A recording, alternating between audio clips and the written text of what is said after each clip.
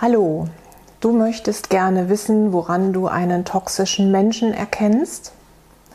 Ganz sichere Merkmale für dich finden, von denen du wirklich sagen kannst, wenn davon eine gewisse Anzahl zutrifft, dann hast du es mit einem toxischen Menschen zu tun?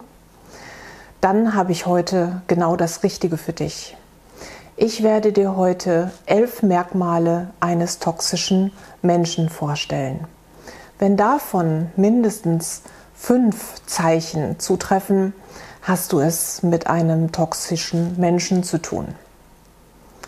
Gleich Näheres nach dem Intro.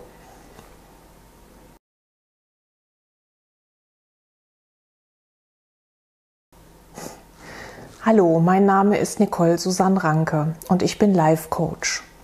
Seit 1989 unterstütze ich Menschen auf ihrem Lebensweg. Ich habe mich sehr intensiv mit Psychologie, Tiefenpsychologie und dem Verhalten von Menschen beschäftigt. Und natürlich taucht das Thema Partner, vor allen Dingen toxische Partner, immer wieder auf. Ich habe mehrere Partnerschaften schon auch in Mediation begleitet. Und da kommt es natürlich immer wieder mal vor, dass das Thema nach einem toxischen Partner, dass das Thema eines toxischen Partners auftaucht, äh, weil diese ja doch recht verbreitet sind. Jetzt ist natürlich nicht jeder, der ein oder zwei oder drei Anzeichen hat, tatsächlich toxisch. Es kann sein, dass dieser Mensch einfach in dieser Lebensphase gerade einfach etwas anders ist als sonst, vielleicht etwas egoistischer oder egozentrischer. Deswegen ist er noch lange nicht richtig toxisch. Solltest du aber von diesen Merkmalen elf Stück sind es gleich, wenn du davon fünf als zutreffend empfindest für die Person, die du in Verdacht hast, dass sie toxisch sein könnte, dann wird das wahrscheinlich auch so sein und dann würde ich dir raten, Abstand zu nehmen. Kommen wir zu Punkt 1. Punkt 1 ist, dass sie tief in ihrem Innern total unsicher sind. Also sie sind eigentlich zutiefst unsichere Persönlichkeiten. Das scheint ja nicht so zu sein. Wenn du sie kennenlernst, sind sie ja eher wie ein V und äh, machen einen riesen Aufstand, um gesehen zu werden und Anerkennung zu bekommen. Meistens sind es eben auch schöne Menschen, nicht immer, aber doch sehr häufig, weil sie viel dafür tun, um gut auszusehen und aufzufallen und dadurch auch Vorteile zu bekommen. Aber das tun sie, weil sie in ihrem Inneren zutiefst das Gefühl haben, dass sie eigentlich so klein sind, ein Nichts. Das ist in ihrer Kindheit entstanden. Sie sind halt nur für Leistung oder nur für Aufmerksamkeit mit Zuwendung belohnt worden und das hat sich im Gehirn abgeschrieben. Zudem ist es eben meistens genetisch eine Veranlagung, die dann in der Kindheit durch entsprechende Verhaltensweisen der Eltern dann dazu führen, dass die sich eben auch im Gehirn verfestigen. Das habe ich ja schon mal auch in einem anderen Video etwas breiter ausgeführt. Ähm, nun äh, kommen wir noch mal zu dem ersten Punkt zurück, die Unsicherheit. Das ist jetzt nicht die Unsicherheit, die du vielleicht von dir selbst oder von anderen kennst. Eine grundsätzliche Unsicherheit, in Bezug auf sich selbst, wie man so ankommt oder ähm, ob man denn in Ordnung ist, die ist völlig normal, die hat jeder Mensch. Die ist sogar gesund. Ne? Also ähm, das Problem ist in der Regel, wenn der Mensch versucht, das mit aller Macht zu kompensieren, um dass die anderen das nicht merken und ähm, er auf jeden Fall als stark und kräftig dasteht. Und das ist nämlich der Punkt, der damit einhergeht.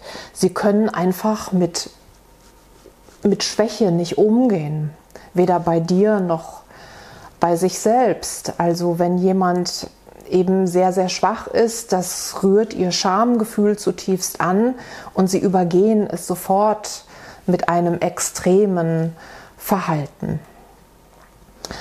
Und deswegen sind sie auch so wahnsinnig schnell gekränkt, wenn du sie kritisierst. Und das ist auch schon Punkt 2. Das heißt also, ein gesunder Mensch, dem kannst du auch mal sagen, wir machen das vielleicht ein bisschen anders oder ähm, schau mal, ähm, das, das kommt bei mir so und so an. Ähm, wie du dich, versuch dich mal in meine Lage zu versetzen, wie du dich fühlen würdest. Na, da kommen wir auch noch gleich zu. Das ist nämlich auch eine Schwäche. Das kann der toxische Mensch nicht kann sich nicht in deine Lage versetzen, aber er kann eben auch gar keine Kritik vertragen. Ähm, am Anfang tut er vielleicht so, als hat er das irgendwie nicht gehört. Ähm, wenn deine Kritik aber deutlicher wird und du willst da vielleicht auch Feedback zu, dann wird der toxische Mensch auch sehr, sehr schnell verletzend. Der kann nicht für sich sagen, okay, ähm, ich habe da ein Problem. Und wenn er das doch tut, dann macht er das, weil er sich davon Vorteile verspricht. Zum Beispiel, wenn er bei dir schon eigentlich einige Negativpunkte hat, also viele Minuspunkte gesammelt hat durch sein Verhalten, dann versucht er sich vielleicht bei dir wieder so ein bisschen ähm, beliebt zu machen, weil er merkt, ah, da kann ich mit ihr oder ihm vielleicht jetzt wieder so ein bisschen näher rücken und kann mich wieder so ein bisschen ins bessere Licht rücken, wenn ich jetzt sage, ich habe einen Fehler. Aber schon kurze Zeit später wirst du merken, dass er da eher wieder drüber hinweggeht und so tut, als wenn er das nie gesagt hat oder auch nicht hat. Also Kritik ist wirklich ein Problem für ihn und für diesen Menschen, ihn oder sie. Ich bleibe mal in der männlichen Form. Du solltest aber wissen, dass ich immer beide meine. Es kann männlich wie weiblich treffen auch wenn statistisch gesehen mehr Männer betroffen sind, toxisch zu sein. Das ist tatsächlich statistisch so. Die Statistik habe ich nicht gemacht. Ähm, aber es gibt natürlich auch Frauen, die äh, toxisch sind. Aber auf der einfachen Erklärung halber bleibe ich mal bei der männlichen Form. Äh, egal, was ich erkläre, ähm, dann wird es für dich auch offensichtlicher, weil manches ist ja auch schwierig zu erklären und dann kommt noch diese ganze, ganze Gender-Erklärerei dazu. Gehe davon aus, ich habe weder was gegen Mann noch Frau. Ähm, genau, das ist nur formhalber. Jedenfalls ist dieser toxische Mensch wahnsinnig schnell gekränkt und ähm, du wirst selbst irgendwann merken, dass du intuitiv versuchst, es zu vermeiden, weil du merkst, äh, das gibt nur Ärger. Da sind wir auch bei Punkt 3. Ich habe das gerade schon angesprochen. Sie haben ganz, ganz wenig Mitgefühl, also wenig Empathie, wenig Mitgefühl. Ähm, kann auch sein, dass es ganz fehlt. Also bei Menschen, wo das ganz stark ausgeprägt ist, fehlt es völlig. Ähm, nicht jeder Mensch, der wenig Mitgefühl hat, ist schon ähm, toxisch. Das muss man auch so sehen. Es gibt auch viele andere Formen, die das so mit sich bringen. Aber wenn diese Menschen trotzdem ein soziales Verhalten haben, ähm, was eben grundsätzlich für alle positiv ausgelegt ist, sind sie halt noch nicht toxisch. Aber dieser Punkt ist bei diesen Menschen auf jeden Fall immer dann auch da, ähm, ohne dem kein toxischer Mensch. Und zwar merkst du das auch daran, dass sie über deine Gefühle hinweggehen. Also sie fragen dich eigentlich faktisch nie, wie geht's dir?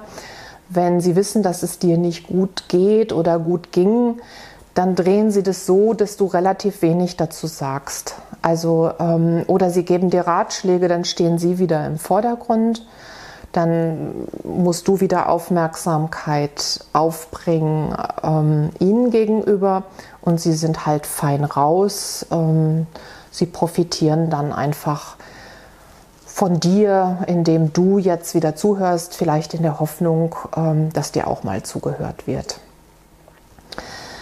Das geht natürlich dann auch so weit, dass das, was sie mit dir machen, sich nicht hineinfühlen, dass dir das wehtut oder dass das für dich sehr belastend sein könnte. Ne? Ähm, das können sie einfach nicht nachvollziehen, weil sie würden sich das wahrscheinlich gar nicht gefallen lassen. Und ähm, insofern können sie sich auch gar nicht in dich hineinversetzen. Und bitte versuch du auch nicht, dich in diese Menschen hineinzuversetzen. Das macht dich nicht nur ganz kirre im Kopf, das kann dich auch krank machen, weil das sind ganz kranke Gehirnstrukturen, die da teilweise hinter sind. Also die sind halt teilweise wirklich so richtig im Gehirn auch verfestigt. Und ähm, wenn deine Gehirnwindungen halt anders sind und du bist ein, ein Mensch, der eben sozial ist und der ähm, diese Veranlagungen alle nicht hat, dann wirst du das nicht nachvollziehen können. Das wird dich nur irre machen. Genau. Ähm, der nächste Punkt ist, der vollzieht sich im Grunde genommen schon aus dem dritten. Das ist der vierte Punkt. Sie reflektieren ganz schlecht. Also ihr eigenes Verhalten zu reflektieren, was sie eigentlich getan haben, äh, wie sich das auf andere auswirkt oder dass sie da vielleicht auch eine Mitverantwortung für tragen. Das kommt mal so funkenweise in ihr Bewusstsein. Manchmal kann man das hören, dass sie sich ja oft selbst auch als böse bezeichnen oder als egozentrisch oder aber sie bügeln das ja sofort auch wieder über, was sie für alle anderen tun. Ich kann immer nur sagen, prüf das mal, mal stimmt das nämlich nicht. Ähm, das ist die, ähm, einfach die Unfähigkeit, das zu reflektieren. Wenn du ihnen mal so gewisse Situationen aufzählst, die ihr miteinander erlebt habt ähm, und du sagst, guck mal, da habe ich mich so und so gefühlt und da hast du dich so und so verhalten, da sind wir auch schon wieder im Kritikbereich. Sie können das einfach nicht richtig reflektieren. Denn, und da sind wir bei Punkt 5, Sie haben auch eine verzerrte Wahrnehmung. Das heißt, wenn Sie sich daran erinnern, was gewesen ist, dann sehen Sie das ganz anders als du. Und sie erinnern sich wahrscheinlich auch nicht mehr an die ganze Wahrheit. Das heißt, die basteln sich so ein bisschen die Erinnerung, wie sie wollen, vergessen auch relativ schnell Dinge, die dir vielleicht wichtig sind und ähm, erinnern sich so, wie sie denken, dass es gewesen ist oder mehr, wie sie es gefühlt haben und speichern das so im Gehirn auch ab. Das heißt, Sie haben eine verzerrte Wahrnehmung von der Wirklichkeit oder auch im Nachhinein haben Sie das Gefühl, du wärst diejenige gewesen oder derjenige gewesen, der angefangen hat zu brüllen. Ähm, dass Sie dich aber erst, wer weiß wie lange provoziert haben, bis du da irgendwann hingekommen bist. Das äh, erinnern Sie vielleicht unter Umständen nicht mal mehr richtig. Also das auch kann es sein, dass sie vielleicht vor dir plötzlich in einer gewissen Situation sowas wie, ich will nicht sagen Angst bekommen. Angst haben diese Menschen meistens eher nicht, aber dass es sowas leicht Paranoides damit reinkommt und sie dir unterstellen, du hättest vielleicht eine böse Absicht gehabt oder so, ähm, weil einfach die Wahrnehmung total verzerrt ist. Ne? Normal mit einem Menschen, der gesund ist, könntest du ja jetzt darüber reden und könntest sagen, äh, was hast du denn gefühlt und erzähl mal und so war das bei mir und ähm, man könnte diese Missverständnisse ausräumen. Das kannst du bei diesen Menschen aber nicht. Die hören dir ja erstens nicht zu, zweitens können sie dich nicht nachvollziehen, sie reflektieren es nicht und haben eine, haben eine falsche Wahrnehmung von dem, was passiert ist. Also vergiss es. Ähm, daran erkennt man auch häufig in toxischen Menschen, dass das nämlich alles gar nicht geht. Mit einem gesunden Menschen geht das. Und der kann auch Entschuldigung sagen. Na, aber weil eben dieser Mensch nicht reflektieren kann, wirst du von diesem Menschen wahrscheinlich auch nie eine ehrliche Entschuldigung hören. Und da sind wir auch bei Punkt 6. Sie messen mit zweierlei Maß. Und zwar aufgrund dessen, dass sie eine ganz andere Wahrnehmung der Situation haben und ihre Welt wirklich so ganz besonders ist. Ähm, jeder Mensch hat natürlich eine ganz eigene innere Wahrnehmung, mit der er seine Welt wahrnimmt. Das ist natürlich wahr, darauf berufen sie sich auch gern. Aber ihre Welt ist halt nochmal ganz besonders. Äh, das fällt einem irgendwann auch auf, dass bei diesen Menschen irgendwas komisch ist. Das heißt, sie übertreiben viele Dinge auch und ähm, man merkt irgendwie, das, was die da jetzt so eingeschätzt haben, das, das stimmt so am Rand, aber irgendwie ist das ja, die verzerrte Wahrnehmung. Ähm, du spürst es irgendwie intuitiv. Äh, meistens sind sie ja trotzdem sehr charmant und redegewandt und da musst du irgendwie auch gucken, dass du denen da nicht auf den Leim gehst. Ähm, und das Zweier, dieses mit zweierlei Maß messen merkst du auch daran, wenn es jetzt darum geht, dass er etwas tut, was du auch tust, äh, dann ist das noch lange nicht das Gleiche. Ne? Also wenn andere etwas tun, was dieser Mensch tut, dann bedeutet das lange noch nicht, dass die anderen das dürfen. Also das gilt nur für diese Person. Diese Person, die toxische Person, setzt Regeln, setzt Maßstäbe und daran müssen sich alle halten. Also ich glaube ja sowieso nicht an irgendeine Form der Gerechtigkeit, weil ich glaube, jeder hat halt auch so seine eigene Sicht.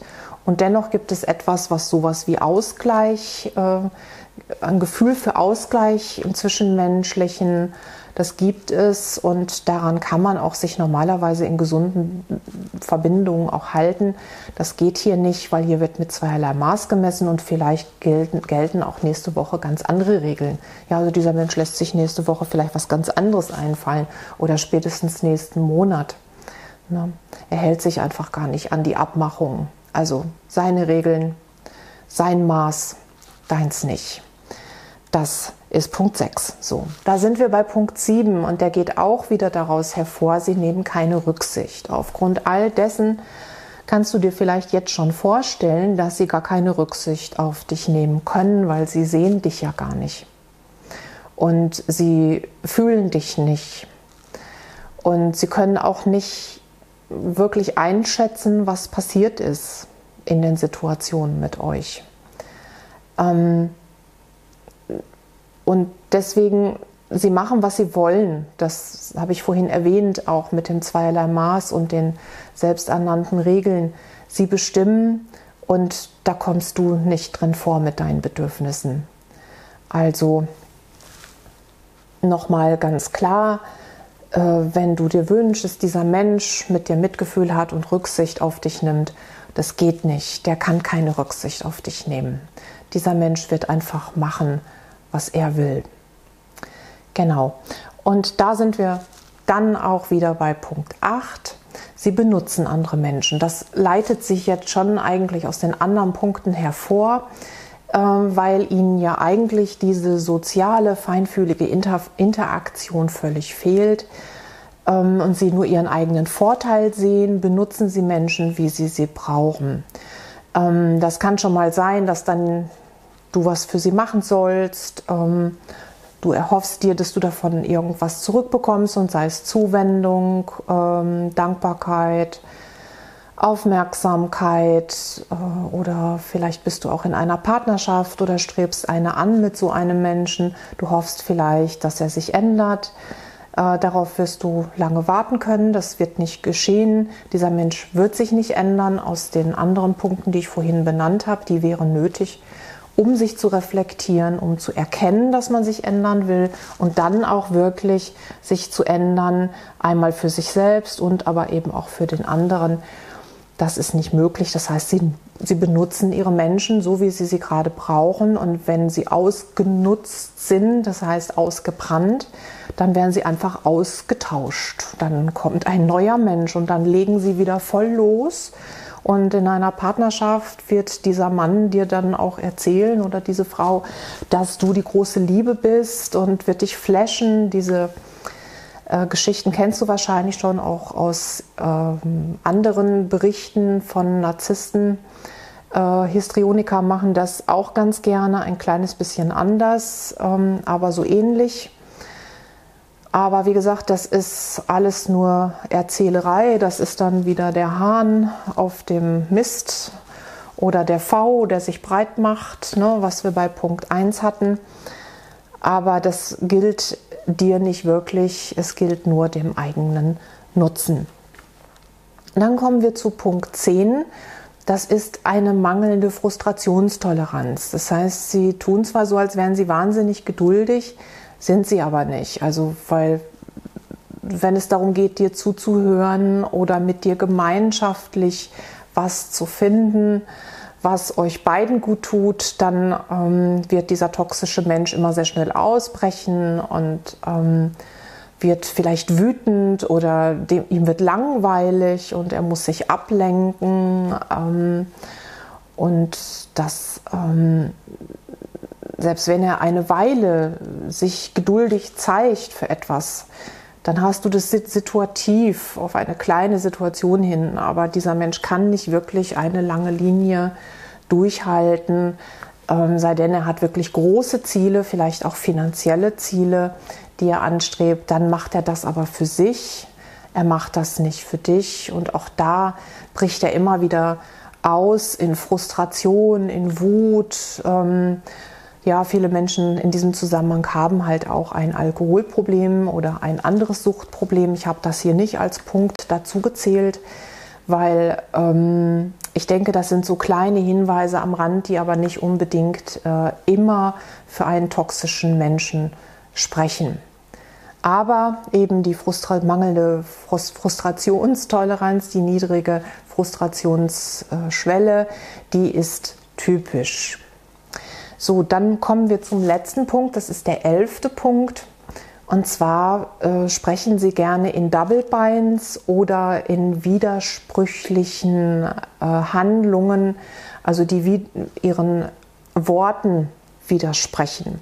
Double Binds bedeutet, also ich tue das eine und sage das andere oder ich äh, schaue so aus, als ob ich eine Aussage mache, aber in Wirklichkeit ähm, sage ich was ganz anderes. Oder ich fange einen Satz an, der äh, mit einer Aussage anfängt und am Ende der Aussage sich widerspricht oder spätestens im nächsten Satz widerspricht. Hm? Andere Situationen, man erzählt sehr viel, was dieser Mensch alles möchte mit dir und für dich tun wird. Aber wenn es dann soweit ist, findet das alles niemals statt. Daran kannst du das messen. Das sind ähm, so Widersprüchlichkeiten, die aber häufig schon ganz am Anfang erkennbar sind in Double Binds, die die Person äußert. Also Double Binds sind eben nochmal, wie, wie gesagt, ist eben das eine sagen und das andere mit dem Gesicht ausdrücken oder zwei Botschaften sprachlich in einem Satz oder geschrieben in einem Satz. Daran erkennst du ein Double Bind. Das spricht immer dafür, dass dieser Mensch in sich selbst tief, tief gespalten ist und ähm, keine klare Linie so fahren kann, wie du dir das auf der Gefühlsebene vielleicht erhofft hast. Gut, wenn du also nun geprüft hast und sagst, fünf von diesen Merkmalen trifft jetzt, treffen jetzt auf diese Person zu, dann ist mein Rat, ähm, sortier für dich, ob du der Meinung bist, ähm, dass du das ertragen willst auf Dauer. Was kostet dich das im Moment? Und ähm, sonst geh auf Abstand. Zumindest bei einer Partnerschaft solltest du genau schauen, wenn du, dich, wenn du nicht ähnlich veranlagt bist, wird dich das wahrscheinlich auslaugen und sehr belasten. Ähm, das ist es am Ende dann nicht wert. Wenn du selber so veranlagt bist, dann kann das für dich ja vielleicht auch das Richtige sein. Ähm, wenn du aber genau das Gegenteil davon bist, dann ist das für dich toxisch. Und dann solltest du das für dich gut überlegen, ob sich diese Investition lohnt oder ob du dich nicht viel mehr um dich kümmerst und guckst, warum hast du diesen Menschen angezogen, was versuchst du zu kompensieren was in deiner Kindheit ist vielleicht ähnlich gelaufen. Ich bin auch in einem anderen Video ja schon darauf eingegangen. Innere Kindarbeit ist da wichtig. Innere Blockaden lösen. Ich bin dir auch gerne dabei behilflich. Du kannst gerne mal auf meine Website schauen. Vielleicht ähm, sagt dir das zu. Wir könnten daran arbeiten, wenn du innerlich dafür offen bist. Dafür können wir immer mal ein kurzes kostenloses, unverbindliches Strategiegespräch führen, um zu sehen, ob das zwischen uns passt. Da bin ich dann auch immer ganz ehrlich, wenn ich das Gefühl habe, ich kann dir nicht helfen. Vielleicht findest du auch äh, anderweitig was auf meiner Seite. Ich biete immer wieder auch mal ein paar kostenlose Tipps an, äh, demnächst auch Webinare. Ich würde mich über einen Like freuen, wenn dir das Video gefallen hat. Vielleicht magst du es auch jemandem senden der oder die es gebrauchen kann. Oder vielleicht magst du meinen Kanal abonnieren und die Klingel daneben, damit du immer auch Bescheid bekommst, wenn ich wieder ein neues Video hochgeladen habe. Bis dahin würde ich mich freuen, wenn wir uns wiedersehen. Deine Nicole.